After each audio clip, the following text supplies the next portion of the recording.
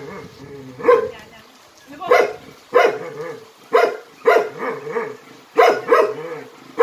이렇게 말고 다섯.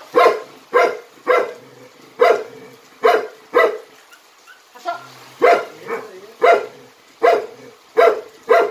넷. 옳지. 셋. 셋. 옳지. 둘. 옳지. 하나. 옳지. 잘했어. 자. 자, 들어갈까?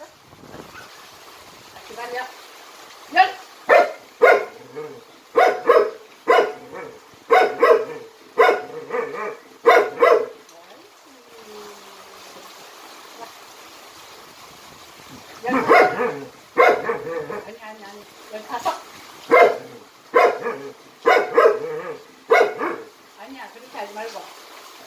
다시 다시 기다려. 기다려. 아홉.